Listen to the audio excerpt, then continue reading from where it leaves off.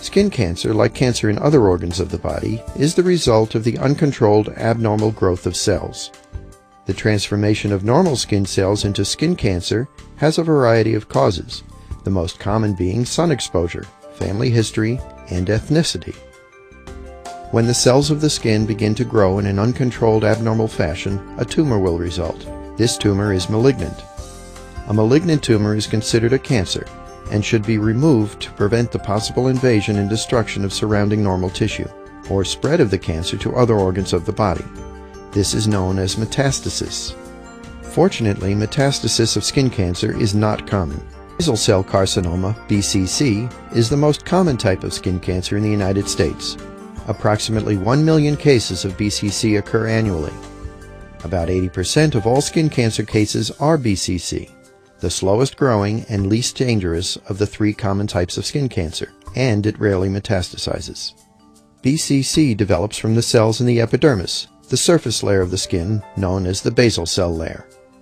Basal cell carcinoma may have many different appearances. It most commonly appears as a small pearly skin-colored bump or nodule. Basal cell carcinoma can also appear as a flat growth, a scar, or scaling area. Untreated basal cell carcinomas may begin to bleed, crust over, and spread into surrounding tissue, leading to more extensive surgery and scarring. Squamous cell carcinoma, SCC, is the second most common type of skin cancer in the United States. Approximately 200,000 cases occur annually. SCC is responsible for about 16% of all skin cancer cases. This cancer develops from cells in the epidermis known as squamous cells. Squamous cell carcinomas are more dangerous than BCC because they have a greater tendency to recur after surgery and to metastasize to other organs in the body. It often appears as a red nodule or rough scaling patch. Malignant melanoma, MM, is a life-threatening skin cancer that develops from the pigment-forming cells in the skin. It often presents as a black or brown mole. It can also include other irregular colors such as red, white, blue, and gray. Malignant melanoma is the least common of the three types of skin cancers, but it is the most dangerous because it has a strong tendency to metastasize to distant organs. Start as small bumps on the skin that slowly or sometimes rapidly enlarge. These bumps are usually pain-free and may have been present for a period greater than two weeks. Skin cancers frequently undergo periods of ulceration and bleeding followed by healing, then a repeat of this cycle your dermatologist should examine any skin lesion that has a history of bleeding. Skin cancers may have a variety of appearances. They may be flesh-colored, waxy or pearly, red scaly patches, large tumor masses, or sores that do not heal. A biopsy may be required to determine if the skin lesion is in fact a skin cancer. Skin cancers frequently invade surrounding normal tissue, causing extensive destruction of skin and bodily structures. Many cancers may form roots or fingers of diseased tissue that can extend beyond the boundaries of the visible cancer.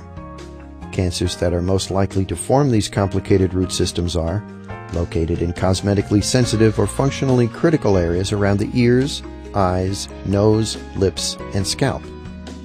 Located in areas where excess tissue is minimal, such as the fingers and genitals, or where circulation is poor.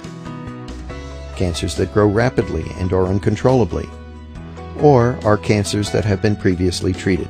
Mohs micrographic surgery is the most precise method for skin cancer removal, with the highest cure rates. Mohs micrographic surgery is effective for most types of skin cancer. However, it is most commonly used to treat basal and squamous cell carcinomas. In recent years, we have seen an increase in skin cancer rates. One of the major risk factors that can be controlled is sun exposure. It is important to keep exposed skin out of direct sun and to use a good sunscreen on exposed skin when you are in open daylight for more than a few minutes. Damage to the skin is cumulative. The best prevention is to protect your skin from direct sunlight as much as possible. Sunburns are the leading cause of skin cancer. Tanning is the skin's defense response to the skin's damaging rays, ultraviolet light, but tanning does not prevent skin cancer.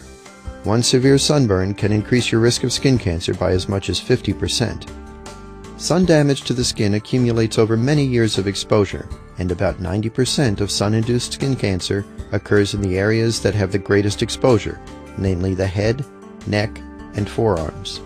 People with a family history of skin cancer are at an increased risk for developing skin cancer. Individuals with fair complexions develop skin cancer more frequently than those with dark skin. Skin cancer, you are likely to develop another in the years ahead.